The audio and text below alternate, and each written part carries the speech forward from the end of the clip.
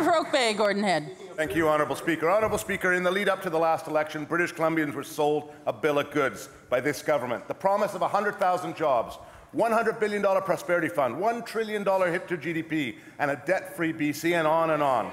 This government has spent the last three years touting BC's imminent LNG industrial boom.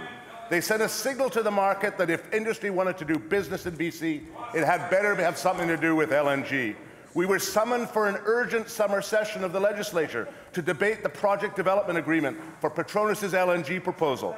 Yet the months come to, to continue to pass. The global market supply of gas gets bigger and bigger.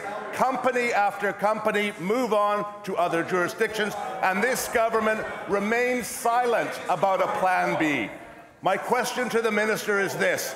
Given the monumental failure of this government's plans for LNG, what is plan B for the BC economy?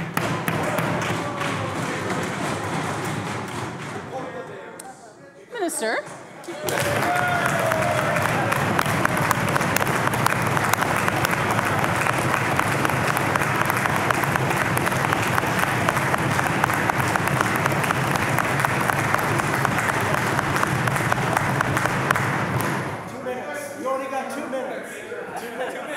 Two minutes.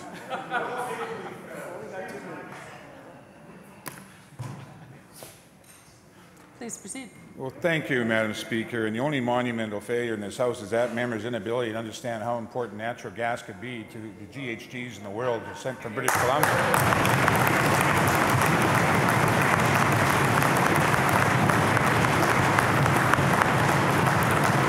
But let's give the member a little recap, are we? We have a conditional FID, we have a project development agreement on one major project in Prince Rupert, we have another, we have environmental assessment certificates on three or four additional other projects, we have 20 proposals in British Columbia, 20 proposals for LNG, opportunities in BC. Just yesterday, honourable member, I was at Tilbury where they're actually building a tank and expanding the Tilbury operation of Fortis for LNG to go into places like Hawaii.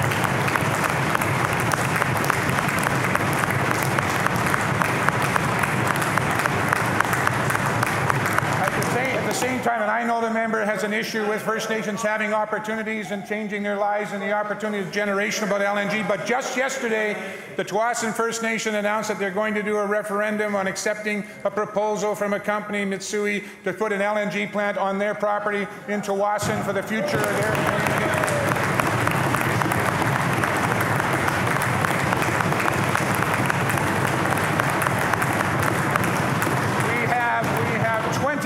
Pipeline benefit agreements across the north for communities of First Nations who will see an opportunity for trades and opportunities and a change in the life of their young people, an opportunity for jobs. Honorable Speaker, we are moving forward with LNG. I know it drives the member crazy, but that's the way it is, Honorable Member.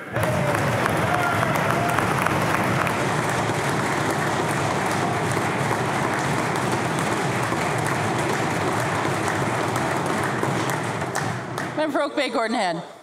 Well, Speaker, I think we should change the name of the ministry to the Ministry of Gas and Hot Air based on that speech. Honourable Speaker, in just two short weeks, leaders from around the world will descend on Paris to attend the 21st Conference of Parties to the United Nations Framework Convention on Climate Change. Next week, the Premier will attend a First Ministers meeting in Ottawa to come up with a national strategy prior to Paris. Yet our government's promise of wealth and prosperity from a hypothetical LNG industry is entirely inconsistent with a BC, let alone a national strategy to reduce greenhouse gas emissions. Question. What will the government do today to invest in BC's economy in light of the monumental failure of its LNG plans and the urgent need to transform to a low-carbon economy consistent with international efforts? Minister.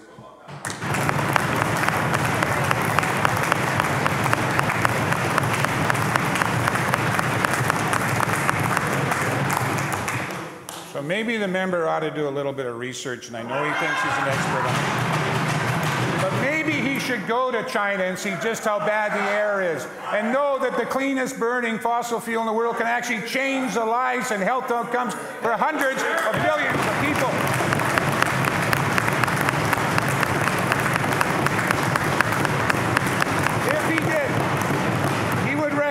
That the world needs a transition fuel to reduce uh, pollution, reduce GHGs in the atmosphere, take the particulates out of the air, give people better health outcomes, and while at the same time doing that, to help economy in British Columbia, to improve the lives in Asia by bringing LNG from British Columbia to Asia to help them deal with a significant problem, while at the same time getting the maximum benefit from a resource that British Columbians have every right to get the benefit from.